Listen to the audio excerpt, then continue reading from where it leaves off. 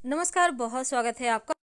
कार्तिक पूर्णिमा को लग रहा है चंद्र ग्रहण इस बार कार्तिक पूर्णिमा 8 नवंबर 2022 को मनाई जाएगी और इस दिन लगेगा चंद्र ग्रहण तो तमाम जो विधि विधान है उसके साथ तो आप पूजा करेंगे, लेकिन चंद्र ग्रहण चूँकि भारत में दिखाई देगा तो आपको सूतक भी मानना होगा और ग्रहण के समय को भी मानना होगा। इस दिन एक झाड़ू का छोटा सा प्रयोग किया जाता है। चलिए जानते हैं विस्तार से। हमारे पौराणिक ग्रंथों में कई सारे शकुन अपशकुन हैं, मान्यताएँ हैं, परंपराएँ हैं, और हम अपने घर के बड़े बुज़ुर्गों को भी ये कहते सुने हैं कि ऐसा मत करो, ऐसा होगा, वैसा मत करो। तो क्या आपको पता है इन चीज़ों के पीछे भी कुछ वैज्ञानिक तथ्य छिपे हैं? पौराणिक ग्रंथों में कहा गया है कि अंधेरा होने के बाद घर में झाड़ू लगाना अशुभ होता है। और अगर जो व्यक्ति स्वप्न में नई झाड़ू लेकर अपने आप को खड़ा देखता है तो यह सौभाग्य का प्रतीक माना जाता है। माना जाता है निकट भविष्य में उनको बहुत इनकम होने वाली होती है। कभी भी घर में उल्टा झाड़ू मत रखिए, ये अपशकुन होता है। और घर परिवार के लोग अगर घर से बाहर जाते हैं तो तुरंत झाड़ू भी नहीं लगाना चाहिए, वरना घर से बाहर जाने वाले लोगों को मृत्यु तुल्य कष्ट होता है। झाड़ू पर पैर रखना हमेशा ही अपशकुन होता है। इसका मतलब है, घर की लक्ष्मी को आप ठोकर मार रहे हैं और अगर झाड़ू का अनादर करते हैं तो महालक्ष्मी अप्रसन्न हो जाती हैं।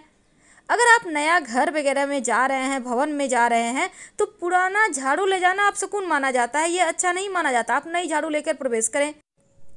पौराणिक मान्यताओं के अनुसार, झाड़ू न सिर्फ़ हमारे घर की गंदगी को दूर करता है, बल्कि हमारे जीवन में आ रही परेशानी, गरीबी, दरिद्रता को भी बाहर निकालता है। घर परिवार में सुख, समृद्धि और खुशियाँ लाता है। पौराणिक शास्त्रों में कहा गया है, जिस घर में झाड़ू का अपमान होता है, वहाँ धन हानि ज़रूर होता है, क्योंकि झाड़ू में धन की देवी माँ लक्ष्मी का वास माना गया है।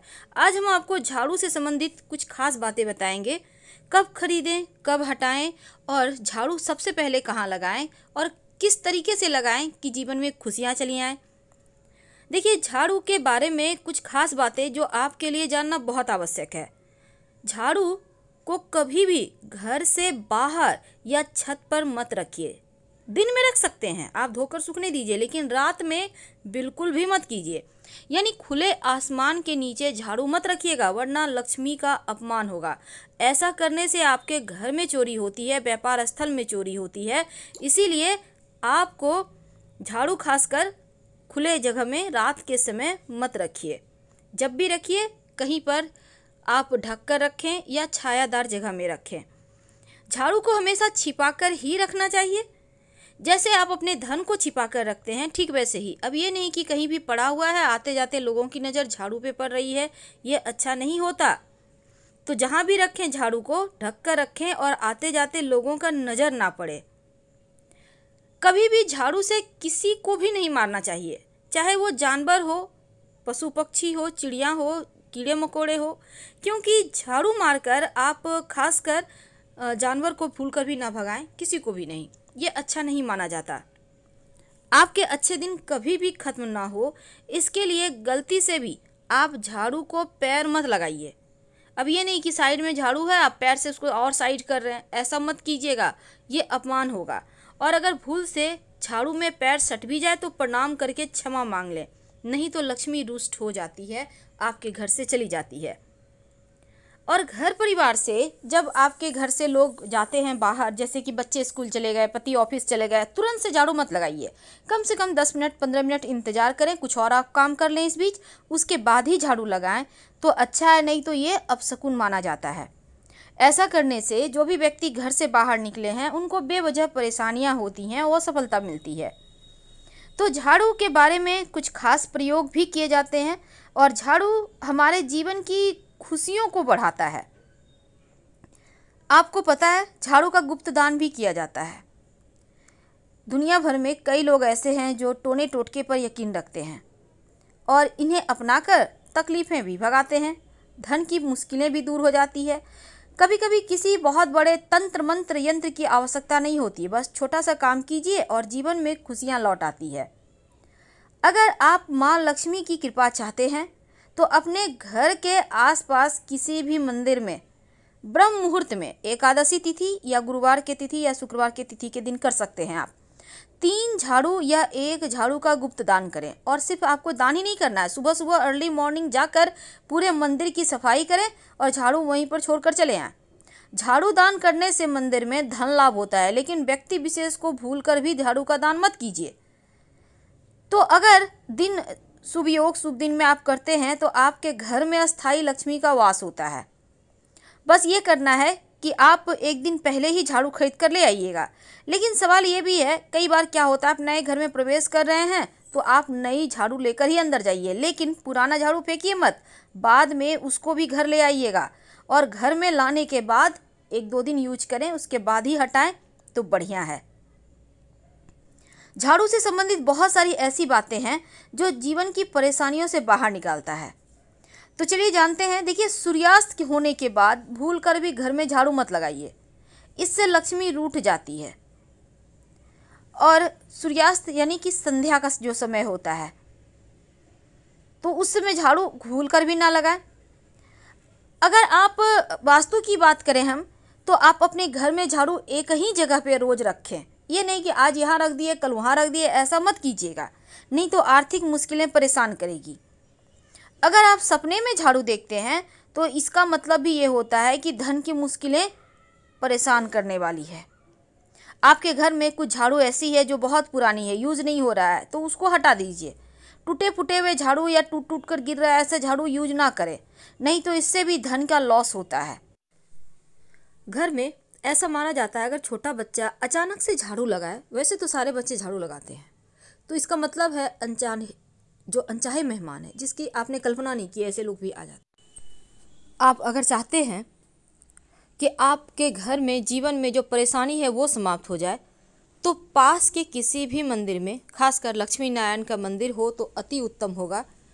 आप एक या तीन झाड़ू जाकर दान कर दें। अच्छा होगा एक ही करें, आप अर्ली मॉर्निंग भोर के समय लेकर जाएँ? मंदिर। वहाँ जाकर उसी झाड़ू से सफ़ाई करें और वहीं पर छोड़कर भगवान से अपनी मनोकामना कहकर वापस आ जाएँ। शीघ्र आपकी मनोकामना पूर्ण हो जाएगी। हमने आपको बताया कि मंदिर में आप झाड़ू किस दिन दे सकते हैं दान। लेकिन क्या आपको पता है कि झाड़ू खरीदने के भी नियम होते हैं। तो देखिए, चूँकि झाड़ू माँ लक्ष्मी का प्रतीक है, इसीलिए खराब झाड़ू या पुराना झाड़ू भूल कर भी गुरुवार और शुक्रवार के दिन घर से मत निकालिए, नहीं तो माँ लक्ष्मी चली जाएँगी। गुरुवार के दिन भगवान श्री हरि का दिन है और शुक्रवार माँ लक्ष्मी का दिन है। तो झाड़ू निकालने से भगवान रुष्ट हो जाते हैं, चले जाते हैं। इसीलिए आप इन बातों का ध्यान रखें। झाड़ू खरीदने के लिए सबसे अच्छा दिन मंगलवार और शनिवार होता है। ऐसा करने से घर में आर्थिक स्थिति में सुधार आता है, संपन्नता आती है और झाड़ू अगर कृष्ण पक्ष में आप खरीदें तो अच्छा होता है। अब कृष्ण पक्ष क्या होता है? पूर्णिमा के बाद जैसे भी कोई कोई भी महीना खत्म होता है तो पूर्णिमा तिथि नया महीना शुरू हो जाता है। तो जो पंद्रह दिन है, पूर्णिमा के बाद से अमावस्या के बीच का जो वक्त है, वो कृष्ण पक्ष है। मान्यता है कि इस समय झाड़ू खरीदें तो बहुत अच्छा होता है। और झाड़ू को भूल कर भी अपने बेड के नीचे मत रखिएगा। नहीं तो आपके जीवन में कलह क्लेश परेशानी बढ़ जाएगी, क्योंकि झाड़ू नकारात्मक एनर्जी को बाहर करता है तो कहीं ना कहीं उसमें निगेटिव एनर्जी होता है। तो ये चीज़ें आपको परेशान कर सकती है। इसीलिए भूल कर भी बेड के नीचे झाड़ू ना रखें। तो झाड़ू के संबंधी एक और बातें हैं। पुराना झाड़ू आखिर कहाँ फेंकें? ये भी बात है। देखिए, जब भी आप घर में धन की कमी नहीं होगी, अगर छोटे छोटे उपाय आप कर लेते हैं तो। पुरानी झाड़ू को आप शनिवार, अमावस्या, होलिका दहन, ग्रहण के बाद अपने घर से निकाल सकते हैं। और इस दिन पुरानी या टूटी झाड़ू को अपने घर से बाहर निकालते हैं तो माना जाता है घर में दरिद्रता, नकारात्मक शक्तियाँ अपने आप झाड़ू के साथ चली जाती है और घर में सुख शांति आ जाती है। अगर आपके घर में झाड़ू बहुत टूट गया है, पुराना हो गया है तो फेंकने के लिए भी इन्हीं दिनों का चयन करें। ऐसे जगह फेंकें जहाँ उस पर कोई पैर ना रखें। याद रखिए, शनिवार, अमावस्या, ग्रहण के बाद झाड़ू निकालना सबसे शुभ होता है। लेकिन भूल कर भी एकादशी, गुरुवार, शुक्रवार और लक्ष्मी पूजन के दिन झाड़ू घर से मत निकालिए। नहीं तो आपके जीवन में परेशानी आएगी, माँ लक्ष्मी रूट कर चली जाएँगी। तो इन बातों का आप ध्यान रखिए।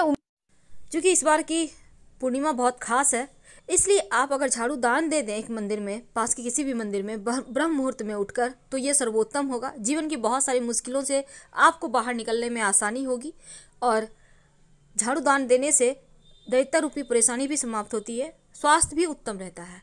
तो सिर्फ़ ऐसे ही आप रख के नहीं आइए, बल्कि मंदिर की सफ़ाई कर दें और झाड़ू वहीं पर छोड़, छोड़कर भगवान को प्रणाम कर आ जाए।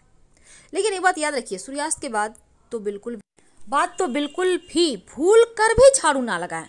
बहुत ज़रूरी हो, बहुत इमरजेंसी हो तो कम से कम कूड़ा ना फेंके, घर में ही साइड में इकट्ठा करके रख दें। और जब झाड़ू लगाना बहुत ज़रूरी हो, तब जीरे वाला प्रयोग तो बहुत ही ज़रूरी है कि आप कर ही लें, ताकि मुश्किलों से बचे रहें। तो हम आपसे विदा लेते हैं। हर हर महादेव। अगर जानकारी अच्छी लगे तो लाइक कर सब्सक्राइब ज़रूर कीजिएगा और देव दीपावली की आप सभी को ढेर सारी शुभकामनाएँ। वीडियो पसंद आए तब लाइक कर सब्सक्राइब करें, अपनों से शेयर करें और कमेंट में हर हर महादेव ज़रूर लिखें। धन्यवाद।